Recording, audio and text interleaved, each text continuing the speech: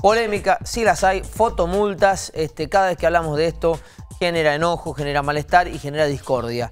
Ahora se suman este, fotomultas en la ruta 40, en el tramo del aeropuerto. Con la información llega Pablo Gamba. Pablo, adelante. Muchas gracias, Tano. Y ya estamos dentro de la Municipalidad de Las Heras y vamos a hablar con el secretario general de Intendencia, con Fabián Tello, a quien ya tengo aquí miliado. Y es importante aclarar que van a, generarse estas fotomultas eh, de acuerdo a los radares que van a estar ubicados. Sí, en unos meses se va a empezar con una etapa de concientización. Esto es así. Muchas gracias por recibirnos. Buenos días, Pablo. Buenos días, bueno, a toda la audiencia de Canal 7. Sí, realmente, bueno, esto es un un trabajo de un, trabajo integral vial que se inició hace tres años que el Internet tomó la posta porque realmente creo que en la Ruta 40 igual teníamos varios accidentes y se pidió los permisos en la Agencia Nacional de Seguridad Vial. Hoy tenemos la autorización, no es que se va a poner en inmediato, sino que en los próximos meses iremos a trabajar, a concientizar, porque algo real que en la Ruta 40, lo que es desde la Rotonda del Avión hasta el aeropuerto, es zona urbana. Entonces, bueno, las máximas tienen que ser lo que rige la ley nacional. La máxima será de 60 kilómetros. De 60 kilómetros, por eso eh, son los permisos que se pidieron a nivel nacional, lo que es ruta, lo que es todos esos lugares donde es urbano.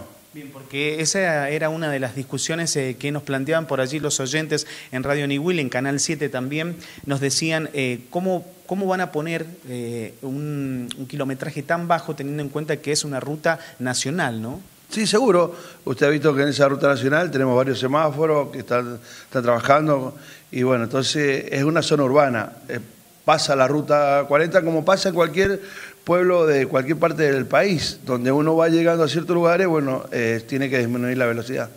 Fabián, ¿cuándo empezarán a poner las sanciones económicas? Eh, viene una etapa de concientización. ¿Cuándo creen en qué mes se pondrán las sanciones?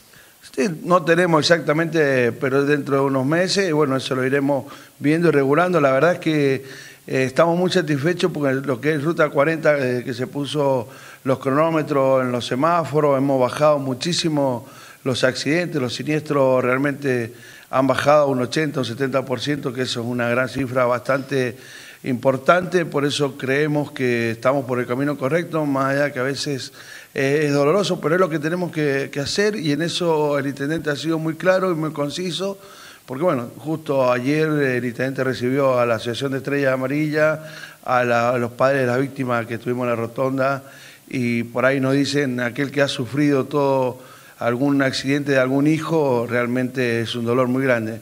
Yo siempre digo que que cuando uno va enfrente del volante no solamente corre riesgo su vida, sino la de terceros.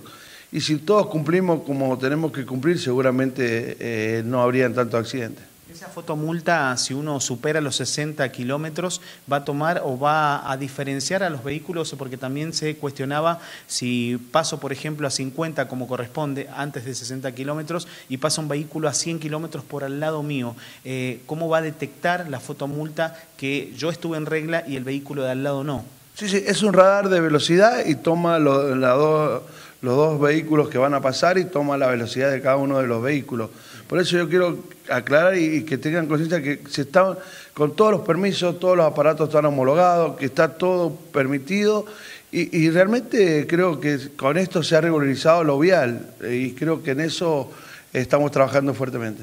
Eh, Fabián, ¿de cuánto va a ser eh, la multa aproximadamente si supero los 60 kilómetros? Y eso va variando según eh, lo que, porque eso lo rige la ley nacional vial y va de los 18 mil pesos, 20 mil, 15 mil, según eh, la falta que va cometiendo el conductor. Entonces, en unos meses eh, ya comenzarán a trabajar. ¿Va a haber cartelería adecuada en la zona? Sí, sí, va a haber cartelería. Seguramente va a haber un periodo de concientización, de que va a estar bien marcado, bien señalizado, como estamos señalizando todos los lugares donde, donde, está ocurriendo esta, donde estamos poniendo estas cámaras. Así que le pido a, todos y a la ciudadanía que realmente tenemos que, que que andar con cuidado, tenemos que cuidar, porque realmente cuando uno se encuentra con casos de madres que estuvieron el otro día con el intendente Daniel Orozco y, realmente sentir ese dolor, nos damos cuenta de que a veces eh, no tomamos conciencia y la dimensión que cuando manejamos podemos producir y podemos eh, hacer mal a otra familia que realmente es doloroso. Hay que circular con cuidado ¿no? y bajar la velocidad. Seguro, yo siempre digo que a veces somos hijos de rigor porque ¿quién no ha ido a Chile, que tenemos un país limítrofe, o a otra parte del país y hemos andado en regla, hemos estado, hemos andado, hemos, hemos estado con los semáforos, hemos parado en rojo, cuando la senda peatonal, el peatón ah, pone, pone el pie, todo el mundo se frena, entonces son cosas que también nosotros, desde la acera, desde entonces la gente tenemos que empezar a aportar y empezar a trabajar porque siempre decimos que tiene que ser normal. A veces se cambian las cosas y lo normal parece normal y lo normal deja de ser normal. Entonces nosotros vamos por el camino de lo normal, en eso el intendente ha sido muy claro y va a seguir trabajando fuertemente en eso. Para que quede nuevamente claro, los radares se van a estar ubicados desde la rotonda del avión hasta el aeropuerto, no más allá. No, no, no, no más allá, así que bueno, eso es lo que nos han autorizado y bueno, es todo por toda esa zona urbana, entonces bueno, y, vuelvo a insistir y sigo insistiendo que tenemos que tener, tomar conciencia, hace poco eh, hemos tenido esta desgracia de tres, en la rotonda de estas tres víctimas y no queremos seguir eh, teniendo más víctimas. Así que en eso tenemos que ser solidarios entre todos. Fabián, muchas gracias. No, gracias a ustedes y para lo que necesiten, acá están las puertas abiertas para seguir dialogando y seguir trabajando en conjunto para que tener una sociedad como viene creciendo la acera y como queremos todos. Hasta allí la palabra de Fabián Tello, sí, que es el secretario general de Intendencia, entonces eh, dialogando con nosotros, Tano, sobre este tema que va a traer polémica, lo dice Fabián, va a haber una etapa de concientización. Lo que pasa, Pablo, es que también hay muchos semáforos en, la zona, ¿no? Julio estarán las sanciones económicas. Preguntale a Tello si han evaluado... Y ahora ya tienen cronómetro, ¿no? Bueno, sí, lo tienen. Lo que digo es, preguntale si han evaluado la posibilidad de que se colapse la zona, dada el que tenés que andar despacio, tenés semáforos, si no, no, han evaluado esa posibilidad. 60 kilómetros, sinceramente, llegás muy rápido y tener que mantenerte en 60 te obliga a ir a 50. Y la verdad que es una zona de muchísimo tránsito, con semáforos entre medio, que ya controlan de por sí la velocidad. ¿No temen que pase esto, que se termine colapsando la, de autos? Me pregunta justamente Tano eh, si no temen que se colapse el tránsito teniendo en cuenta que los vehículos por allí van a pasar quizás a 50 kilómetros, no 60, para justamente no entrar en infracción, teniendo en cuenta que hay también en la zona ya muchos semáforos en el lugar. ¿Creen que el tránsito va a tener fluidez eh, para, para, que uno pueda transitar tranquilo por el lugar? Sí, sí, va a tener la, fluidez normal que tiene ahora porque el hecho de que tiene semáforo. O sea, uno más en esa zona se nos cortó. Bueno, pero creo que ahí está, ahí lo recuperamos. Estaría en rojo, estaría cometiendo la infracción.